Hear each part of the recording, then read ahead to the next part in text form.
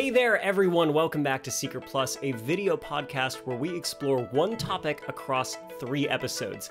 I'm your host, I'm Julian Huguet. This week, we're doing surgeries. I mean, we're not doing surgeries, we're talking about surgeries. Trust me, nobody wants me near a scalpel. So, even though surgeries are really common these days, it's still pretty incredible to me that surgeons can cut people open and then dig around, and afterwards, people feel better. I mean, we've learned how to remove tumors, fix brains, stitch up wounds. We can swap out entire body parts. Over the next three episodes, we're going to talk about how we got here through a history of trial and sometimes gruesome error, and why anesthesia might be the greatest and weirdest thing our species has accomplished in medicine thus far. Then we'll get specific about a few of what I think are the coolest surgeries out there. And then we'll cap it all off with the future of surgery how robots, cameras, new technologies are shaping what medicine will become.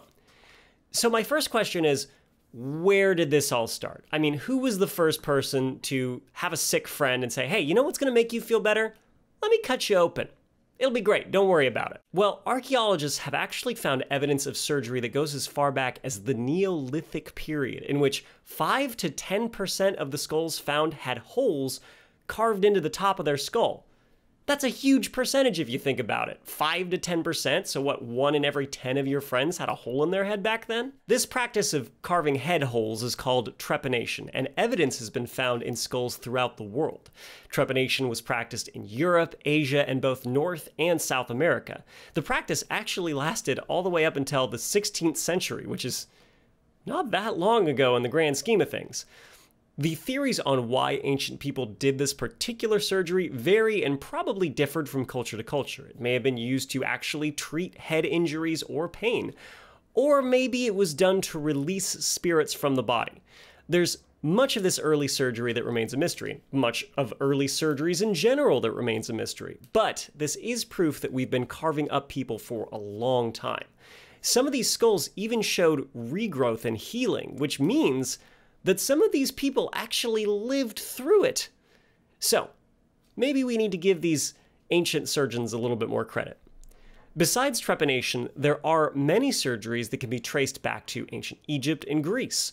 Surgery in ancient India was especially advanced with a legendary surgeon named Sushruta in 600 BCE. He performed skin grafts, even facial reconstructions, and he only had basic tools, a small level of success, and no anesthesia, so I assume he also had a lot of screaming patients.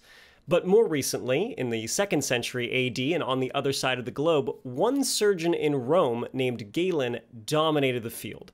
His writings became the main source for Western medicine for more than a thousand years. He saw how arteries and veins carried different colors of blood and proposed early versions of the circulatory system. I'm going to take a sidebar here and say I don't mean red and blue, I mean bright red and dark red. That's blood's never blue, it's always red.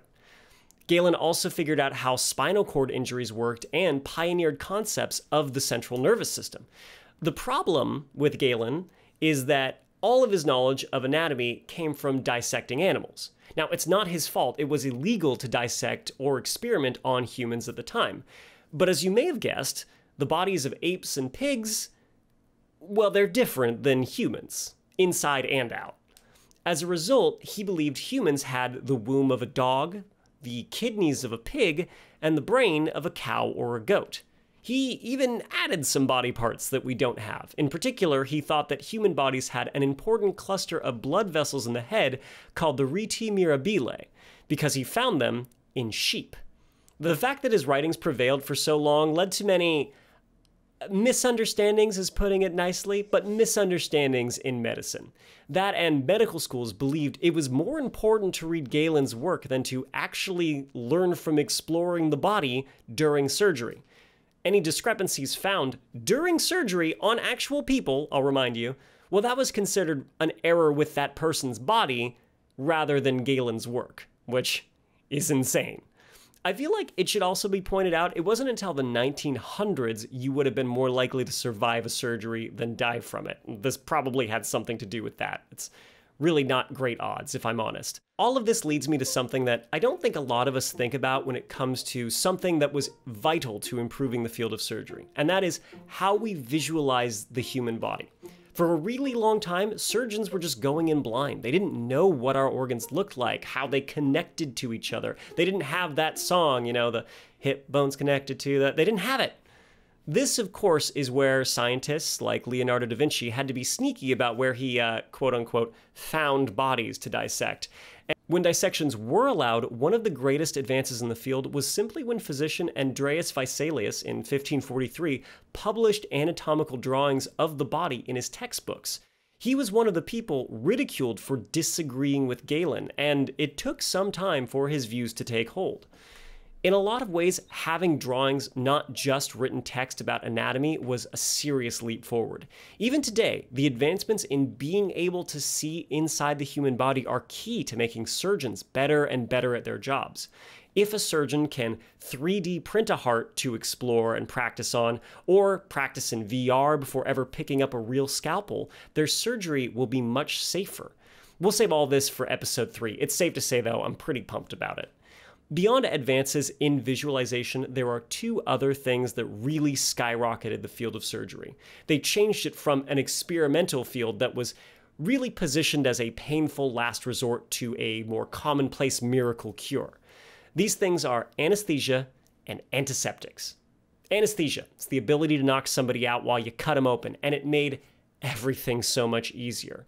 There were attempts to ease a patient's pain using alcohol or opium or herbs, but eventually, ether was discovered. And even though it was great, a huge advancement, it wasn't ideal.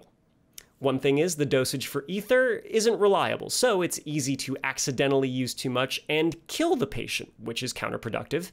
Ether also causes a choking sensation, so patients had to be held down while it took effect. And oh, yeah, it's really flammable. But over time, other effective anesthetics were discovered, like nitrous oxide, chloroform, and eventually the modern mixtures that we use today. After all this time, though, we still don't really know how anesthesia works.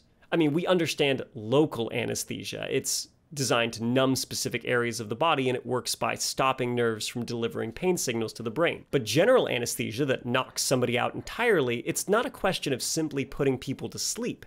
It needs to block pain, turn off reflexes, prevent the release of stress hormones, keep the heart rate and blood pressure chill, and needs to make sure that the patient has no memory during an operation. How though? How does this work? Well, one recent study on fruit flies found that anesthesia freezes a neuron's ability to fire, leading to a loss of consciousness. They figured it out by dousing cells in chloroform and observing how clusters of lipids in the cell membrane break apart in the anesthetic, kind of like a bunch of balls on a pool table.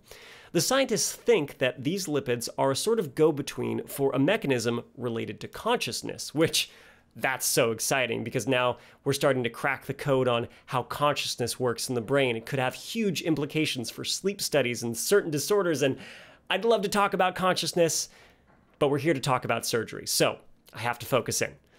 Even surgeries done with anesthesia, though, had a low success rate until antiseptics were discovered. Surgeons used to wear the same clothes over and over, and they let them build up with dried blood and pus and vomit and I'm really sorry if you're having lunch right now. One of my favorite stories from this period of medical history is about this physician named Ignaz Semmelweis. He was working in the maternity ward of a hospital in Berlin, and it bothered him that 13% of women giving birth in his ward were dying slowly and painfully of something called childbed fever. Around the same time, a doctor friend of Semmelweis got a wound while performing an autopsy, and he later died of a blood poisoning that mimicked the symptoms of childbed fever. In this hospital, doctors were doing autopsies on cadavers and then delivering babies in the same shift just poking around inside some dead guy and then going and touching moms and their newborns without ever washing their hands or anything. Semmelweis concluded that something from the cadavers was poisoning his patients. So, before germ theory had even entered the world of medicine, Semmelweis implemented strict hand sterilization practices, and his mortality rate dropped to 0.19% by the end of the year. So, from 13% to less than 0.2%. Way to go, Semmelweis. Later, with the discovery of germ theory, medical staffs started scrubbing surfaces, washing hands, and placing antiseptic barriers over wounds, resulting in lower rates of infection and death across the board, all leading to the hyper-sterilization of modern operating rooms. Which brings us to today, where we're operating on people's brains, hearts, feet, and all the stuff all around it and in between.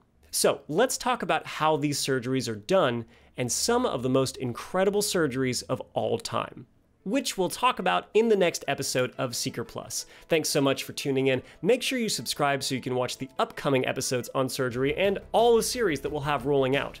By the way, if you want to let us know in the comments any topics that you think we should cover, go for it. Comment away. We can talk about anything really. We could talk about the intelligence of plants or ants. Ants are cool. Or the science of dance? Let me know. Thanks so much for watching, and we'll see you on the next episode.